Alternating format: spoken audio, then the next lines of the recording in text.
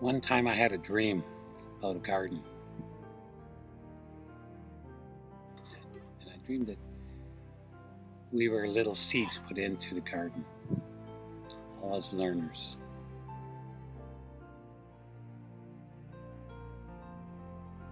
As we're put in as seeds, the rain comes down, which is all the teachers out there helping us to learn and grow. And as I look around, I see beautiful little green flowers come out.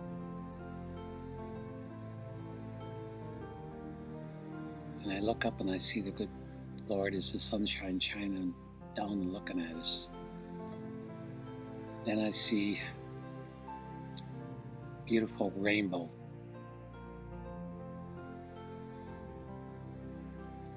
And as I'm looking at the rainbow, I look back down at the garden. I see all these beautiful flowers.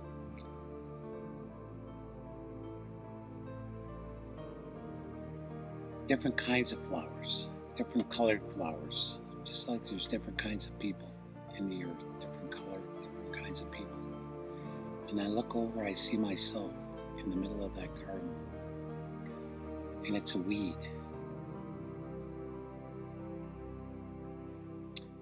Give me a chance to grow, and I can grow maybe into a beautiful flower, just like these people out there. And I see us all going over the rainbow looking for a pot of gold someday. And I see us dropping off our petals to fall into that garden to help other students like myself to grow. If we could all share our hopes, our dreams, and our knowledge with each other, I know this could be a better world that we could all live in.